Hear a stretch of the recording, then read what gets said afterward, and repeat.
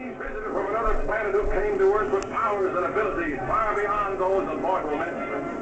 Superman, who can change the course of mighty rivers, bend steel in his bare hands, and who, disguised as Clark Kent, mild-mannered reporter for a great metropolitan newspaper, fights a never-ending battle for truth, justice.